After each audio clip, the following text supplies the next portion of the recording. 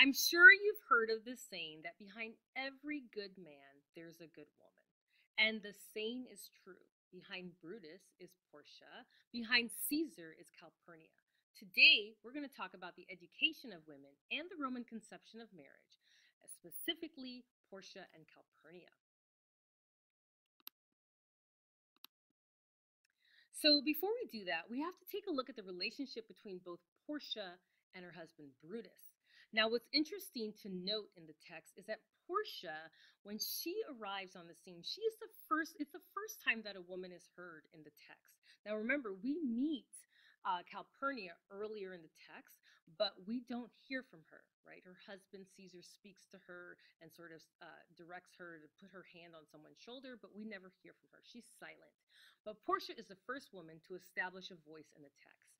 And when she does that, um, we see that Brutus then questions her. Why? You know, he questions her. If you look in the text, that's the first thing he does is, is she opens her mouth, she says something, and he questions her. Um, he refers to her as weak, and he connects her to the language like raw, cold morning, right? So you would expect that that Portia might um, be submissive or even uh, retreat. But in this case, she mirrors his response. So if he comes at her, she's going to be coming equally and meet him at the same place. Um, in this case, what it does is it signifies, or at least she's attempting to signify, that a man is equal to a woman. So if he's sick, or she's sick rather, um, then he too is sick, right? And we see that she sort of challenges Brutus um, in the text. So what this does is it shows that there's a potential for sickness in both. One is sick, the man is sick, and the woman is equally ill. So we know already, and these two images are of Calpurnia and Portia, we know that the women have some sort of sickness, right? We look at, at, at um, Calpurnia, and we know that she is unable to conceive. She's barren. They tell us that in the very uh, first act of the text. And remember when Caesar directs her to put her hand on the man's shoulder, so that might pr- provide, make, he was superstitious, and that might make her um, able to conceive. So she cannot have children. And then we have um, Portia who mutilates herself. And in modern day, we see that if someone, you know, cuts themselves, then they're crazy. There's something wrong with them. So in this case, that's her sickness as well. Okay, so if the women are sick, then the men are equally sick. And we see this pattern of sickness in the text. We start with Brutus. Brutus is going through this turmoil. Everyone is coming to him. He clearly is weak, right? Um, he's indecisive, but he has that own, maybe perhaps even a sickness in the head. And then we meet Ligarius, who, if you recall, he was part of the, the conspirators, but he was too ill to meet with Brutus that evening um, when all the other conspirators arrived to talk to Brutus. He was too ill. So he too was sick.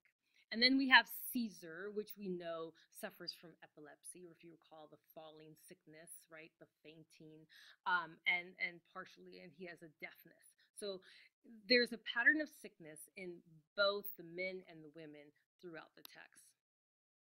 So this leaves us with Portia. She has this female dilemma, right? There, she has the mind of a man and the woman's might. And so what you don't know is that she's really smart. And so you probably recognize in the text when you see, you probably say, wow, Portia is bad. Like she's not bad person, but she's a bad girl, right? Um, she confronts Brutus with the truth. She's not backing down from Brutus. We can sense her strength. She possesses the education of a man right? She's daughter to Cato, and Cato was a courageous, mightyful um, man and, and warrior. And then, but at the same time, she also has the might of a woman. She exhibits excessive amounts of emotion. She's a good daughter. She's a dutiful Roman wife. She begs her man, in this case, um, Brutus, to open up to her. Please, she'll go to great lengths, right? Um, she's driven to madness and, and she's insistent. Um, and she becomes at some point hysterical, right? And so this is her dilemma. She's stuck between two worlds. She is this woman, and that's how she is defined physically. But at the same time, you know, she she's strong. So it's very difficult for her, and we find that she can't be silent. She can't lose her voice in the text. So what's interesting to also note is the hysteria that Shakespeare um, sort of projects onto the women in his text, not just Julius Caesar's, but Hamlet. And there are other texts too. The women sort of um, come across as crazy, right? And and and perhaps because, and, and the better word might be powerless, right? Because the men in this case possess the power. The women have the possess the inner strength, but they they can't do anything with it. So it drives them crazy. And in this case, we see um, Portia. She stabs herself um, in in the thigh. We find that out as well. And then if you look at Hamlet, and you'll you'll read that perhaps um, at a different level. Um, there's a character Ophelia who's driven to hysteria or madness as well. There's a saying, you know, is Ophelia crazy? Um, and so there's something about the text and, and, and Shakespeare's work that sort of uh, communicates this idea that the women are just not all there. We know that is not the case, right? So, um,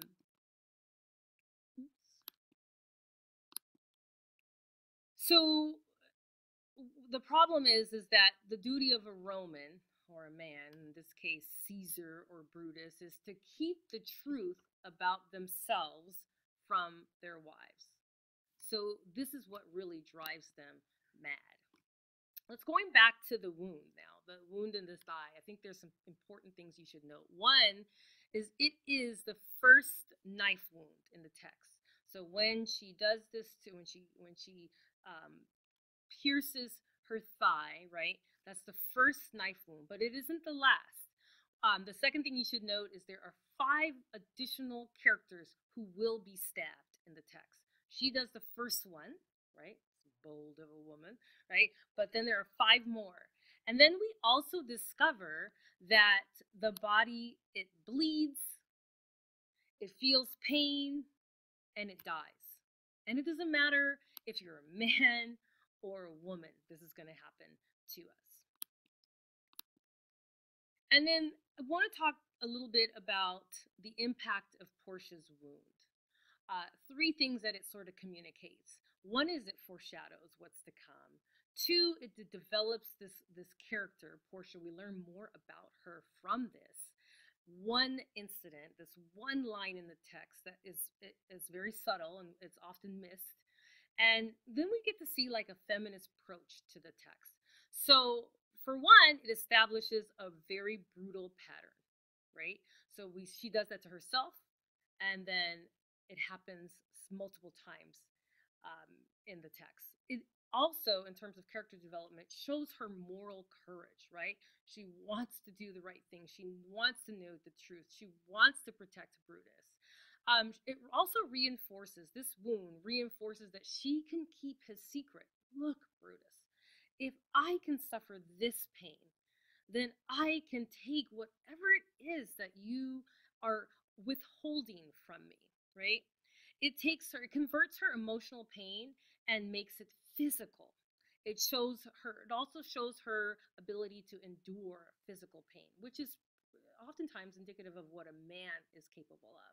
It validates her claim on Brutus. Um, it directs attention inward and it also leaves her vulnerable. And then it defines the self by masculine expectations. This is something that a man should, um, that can, a man can endure. But we see that Portia is doing this.